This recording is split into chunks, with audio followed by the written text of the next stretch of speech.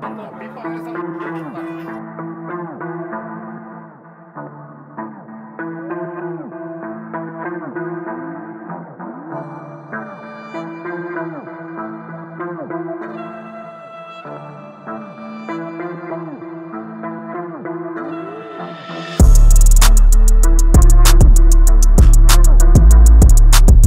on, boy, you gotta explain to me what we're doing here.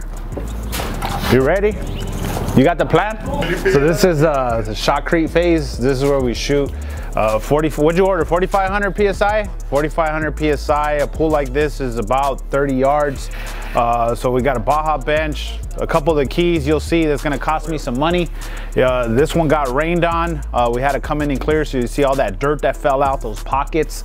Everything that's gone, we gotta fill it up with something. So as long as that gun is shooting, the, the, the, the price tag is ticking. So these guys love it, I hate it. Um, if you got time, fill it in. This is uh, Pollo from Baja Shotcrete. There's Art. And that guy over there, we just found him on the street. I don't know what he's doing here. Yeah, Home Depot guy. now, so we're in Pomona. This job right here, uh, it was a nightmare. We started right before the, the storms hit. So caved in on us. We had to redo the rebar, redo the plumbing, take out all the mud. Uh, it's just been a nightmare. And then we had issues with the power lines. Inspector came out, even though they approved the permits, they freaking failed us because they said we were too close to the power lines, which the second time around they came and said we were fine. So this job's been on hold for a while. We had a cancellation today, so we decided to come shoot it last minute. Uh, hopefully the mud shows up.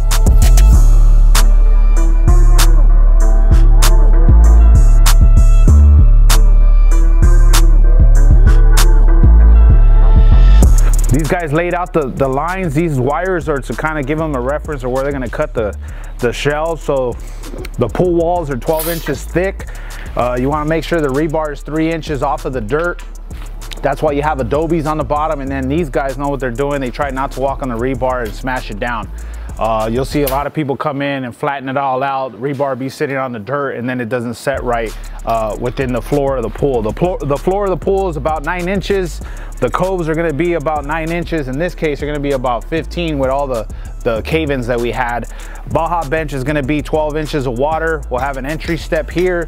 Uh, we're gonna have a bench in front of the spa, and we have a full size uh, raised spa on the side. So behind, we're gonna have a uh, we call that a raised bond beam, so we'll put a, a water feature on there, uh, cut it down to size, and in the next three hours, we should have a pool. All right, so after we shoot this, we'll um, water it, hose it down for at least 14 days, twice a day. Uh, it helps it, helps it cure and get up to strength. So we wanna make sure that the pool shrinks down before we apply any finishes because it's gonna shrink an eighth of an inch, 16th of an inch. If we set the tile too soon, it'll pop off. So come show me your truck, man. We gotta, we gotta highlight your truck. Tell them, tell them everything in the truck.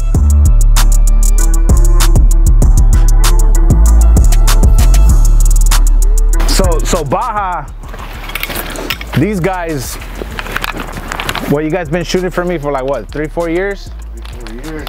So they ain't the cheapest, but in this game, you gotta be loyal. So if you get taken care of, you get good service, you gotta stick to what you know. I'm big on loyalty. Uh, so I rock with Baja. This is their get up. One of the main reasons I like my stuff clean and they got one of the best rigs out there. So you got a F550 truck, right? You guys check them out. There's Baja Shotcrete, small family operation. You guys run two pumps, no? Two pumps. What? Old truck, old pump, 05. We got the 21 at the house.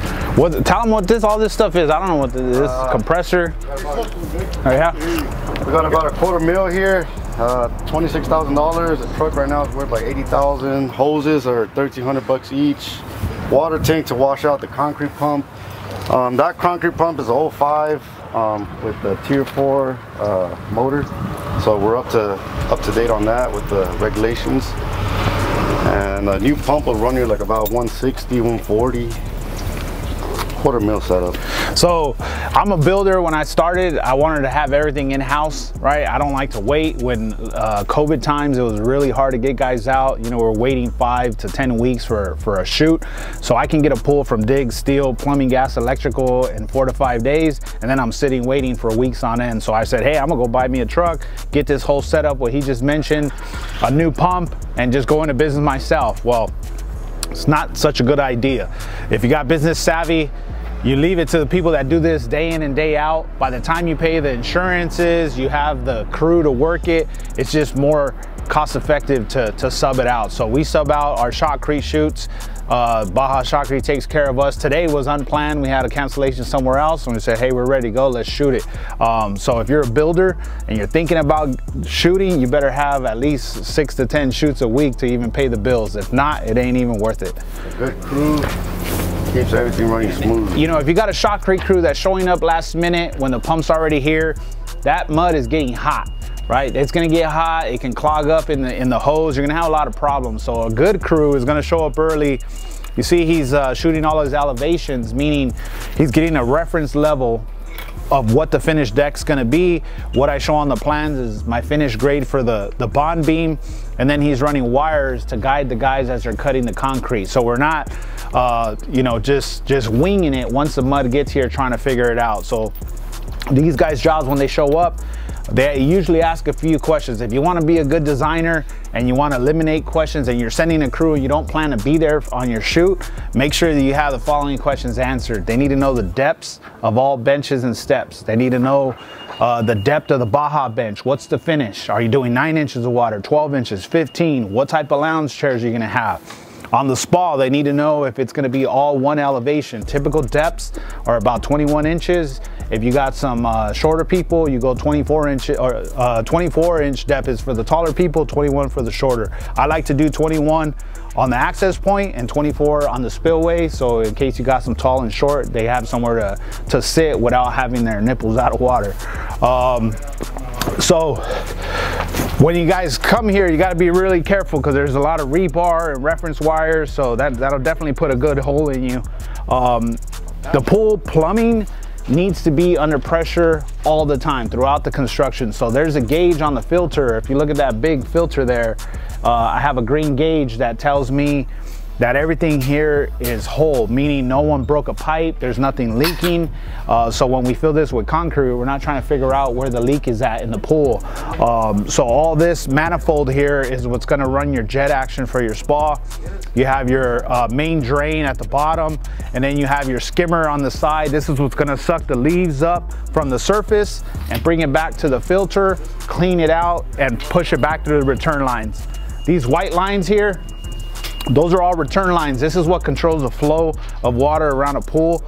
Any body of water, you don't want to have stagnant uh, water because that's where you get bacteria growth and algae and all that. Um, so this is a very small lot in Pomona. We were able to fit a full-size pool. It's very deep. This is a grandkid pool. Uh, so we gave them uh, clean access, a little older couple that, that lives here. So we gave them a lot of seating area, a lot of place to entertain the kids. So when we get the truck in, you'll get some, some views of, uh, uh of the process of how this is applied.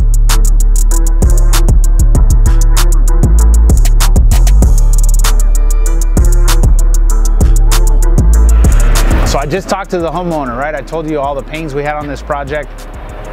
In her head, you know, she thinks that this project's been going on for six months, right? So this is for all you homeowners. Your project starts the day you dig. I don't know if your permits are gonna take a week. I don't know if they're gonna take a year but that doesn't mean your pool construction took a year plus whatever time to construct. So make sure you communicate with your homeowners. Uh, you are gonna have rains, you're gonna have permit delays, you're gonna have cave-ins, you're gonna have problems. Uh, a true pool build can take five to eight weeks not a year. That's super unsatisfactory, uh, but you gotta communicate that. Don't think that the minute you drop a deposit for a design is when your pool starts. It's actually when you start digging. So this is when it starts to Shotcrete.